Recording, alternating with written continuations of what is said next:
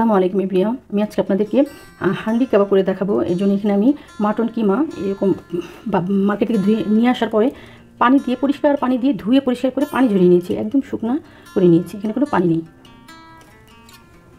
আমি মার্কেট থেকে কিমা নিয়ে আসার পরে আমি ভালো করে পানি দিয়ে ধুয়ে পরিষ্কার করে নিই।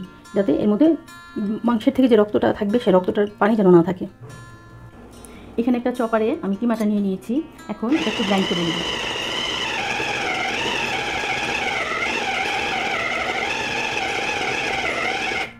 এখন এখানে দিয়ে দিব আদা বাটা, এক চামচ। এখানে দিয়ে দিব এখন আদা বাটা, এটা রসুন বাটা। দিয়ে দিব এক বাটি পেঁয়াজ বেরিস্তা। এক চামচ কাশ্মীর চিলি পাউডার, এক চামচ ধনিয়ার গুঁড়া, এক চামচ জিরার গুঁড়া, সামান্য একটু ওয়ান ফোর চামচের মতো হলুদ। এক চামচ গোলমরিচের গুঁড়া, এক চামচ চিলি ফ্লেক্স। এক চামচ লবণ। আধা চামচ, আধা চামচের মতো কাঁচামরিচ পেস্ট। এটা আমি কাঁচামরিচ ব্লেন্ড করে নিয়েছি। এখানে শুধু কাঁচামরিচ ব্লেন্ড করে নিয়েছি। এখন সব কিমার সাথে মশলাগুলো মিক্স করে নেব। চামচ ঘি দিয়ে দিব। ঘি দিয়ে আমি কিমার সাথে মিক্সড করে নেব। কিমাটা আমি ভালো করে মিক্সড করে নিব।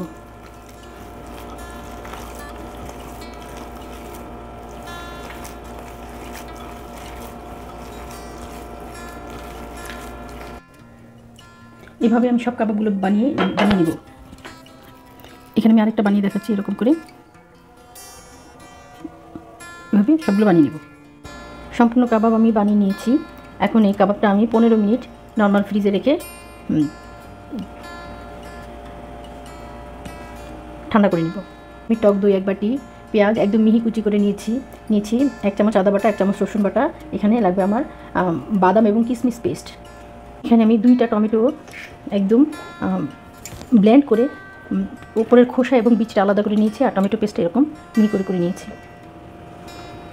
এখানে একটা ফ্রাই নিয়ে নিয়েছি, এখন কাবাবটাও আমি ফ্রিজ থেকে বের করে নিয়েছি। এখন এটা আমি কাবাবগুলো ভেজে নিব। হালকা বাদামি করে আমি কাবাবগুলো ভেজে নিব।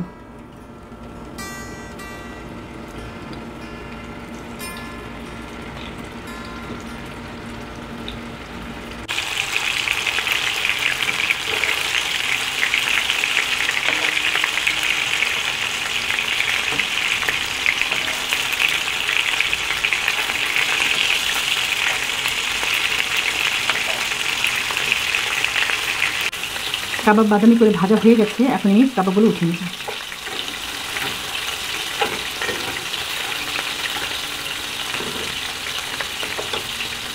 কাবাব ভেজে আমি একটা প্লেটে উঠিয়ে নিয়েছি। এখানে একটা মাটির হাঁড়ি নিয়ে নিয়েছি, যেই হাঁড়িতে যে ফ্রাই প্যানে আমি কাবাবটা ভেজেছিলাম কাবাবের ভেজে ওঠানোর পরে ওই তেলটা আমি হাঁড়িতে দিয়ে দিয়েছি। এখন এখানে দিয়ে দেবো পেঁয়াজ। পেঁয়াজটা একটু হালকা বাদামি করে ভেজে নিব।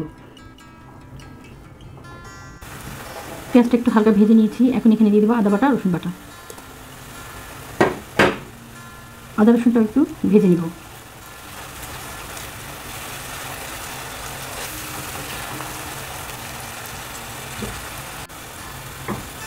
এখন এখানে দিয়ে দিব টমেটো পেস্ট। দিয়ে দেবো এক চামচ লবণ।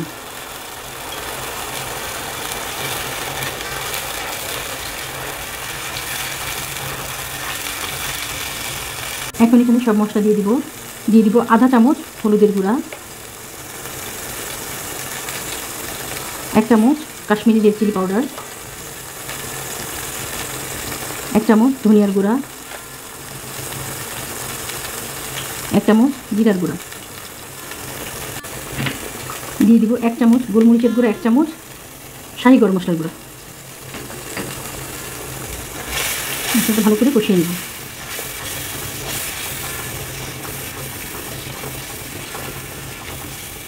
ভালোভাবে কষিয়ে নিয়েছি। এখন এখানে টক দই দিয়ে দিব।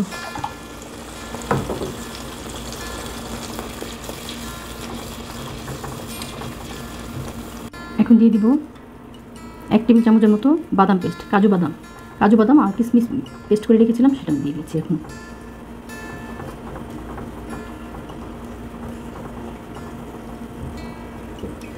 এখন এই পর্যায়ে আমি কাবাবগুলো দিয়ে দিব।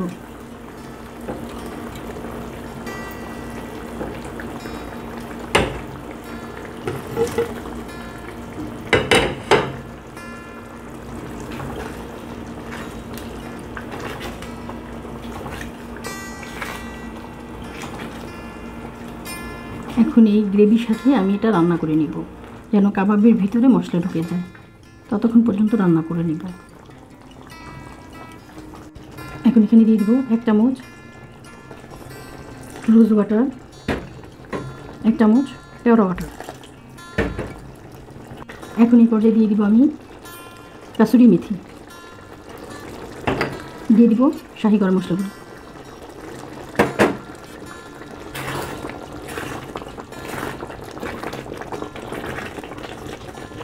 গরম মশলা এবং শাহি কাসুরি মেথি এবং শাহি গরম মশলা দেওয়ার পরে বেশিক্ষণ জাল করব না, কারণ আমার গোষ্ঠটা কাবাবটা সিদ্ধ হয়ে গেছে। এখন আমি এটা চুল অফ করে দিব এবং আমি আপনাদেরকে সার্ভ করে দেব দেখাবো। হয়ে গেছে আমার mutton handi. Mutton handi recipe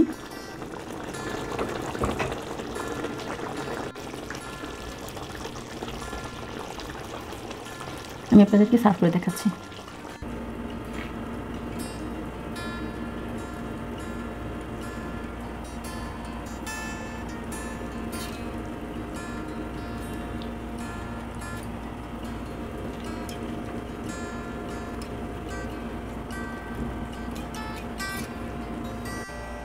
হয়ে গেছে আমার মাটন হান্ডি রেসিপি আপনারাও আমার এই রেসিপি ফলো করে বানাতে পারেন। যদি আমার এই রেসিপি আপনাদের ভালো লাগে, তবে আমাকে একটা লাইক দিবেন সাবস্ক্রাইব করবেন এবং শেয়ার করবেন। যদি ভালো লাগে, তবে সাবস্ক্রাইব করবেন।